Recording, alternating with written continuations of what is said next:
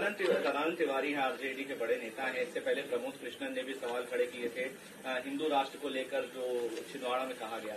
कि हाईकमान से स्पष्टीकरण मांगा है, इंडिया अलायंस है उनका, कि इस पर अपना स्टैंड स्पष्ट करे कांग्रेस। कांग्रेस कंफ्यूज है और कई चीज़ों के लिए मजबूर है। जो लोग कभी राम भगवान का नाम लेने से परहेज करते थे, काल्पनिक मानते थे वो कथाएँ करा रहे हैं, हनुमान चालीसा का पाठ कर रहे हैं। क्योंकि ये करने के लिए मजबूर है वो। चुनाव आ रहे हैं। ये चुनावी भक्ति है कांग्रेस की। अब उनके अंदर ही अंतर्द्वंद मचा हुआ है। अब कमलनाथ जी सोच रहे हैं कि मैं इधर जाऊँ कि उधर जाऊँ। बड़ी मुश्किल है किधर जाऊँ। और अब तो उनके एक नेता ही ने कह दिया कि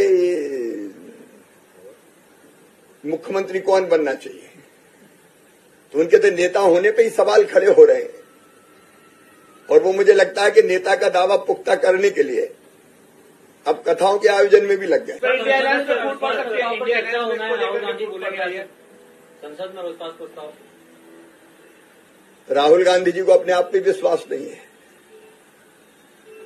वह विश्वास प्रस्ताव लाए। जब पहला विश्वास प्रस्ताव लाए थे और बोलते हुए जिस तरह की हरकत राहुल जी ने की थी, अब उसका मैं वर्णन नहीं कर सकता। उसके, उसका गवाह पूरा देश था। इस अविश्वास अविश्वास प्रस्ताव में कांग्रेस भी जानती कोई दम नहीं है। देश का विश्वास श्रीमान नरेंद्र मोदी जी में है। और जो अविश्वास प्रस्ताव ला रहे हैं, उनका सबसे ज़्यादा अविश्वास एक दूसरे पर ही है। अब आप पार्टी का तो जन्म ही कांग्रेस के खिलाफ आंदोलन से हुआ था। अब वो गलवैया डाल रहे हैं। पानी पी पी के कोसते थे केजरीवाल। अन्ना आंदोलन चला। अब कांग्रेस उसी आपके साथ है। लालू जी नीतीश जी एक दूसरे को पानी पी पी के गाली देते थे। अब वो भी साथ साथ है। वामपंथी और कांग्रेसी केरल में भी लड़े और बंगाल में भी लड़े। लेकिन अब ये, अब फिर साथ साथ है। ये साथ साथ क्यों? इसलिए कि भ्रष्टाचार और परिवारवाद के दाग जिनके ऊपर लगे हैं और जिनको लग रहा है कि बचे कैसे वो सब एक साथ आ रहे हैं। जनता इन पर विश्वास नहीं करते।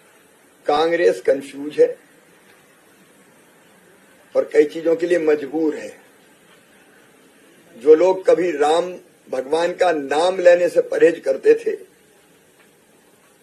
काल्पनिक मानते थे, वो कथाएँ करा रहे हैं, हनुमान चालीसा का पाठ कर रहे हैं, क्योंकि ये करने के लिए मजबूर है वो। चुनाव आ रहे हैं। ये चुनावी भक्ति है कांग्रेस की।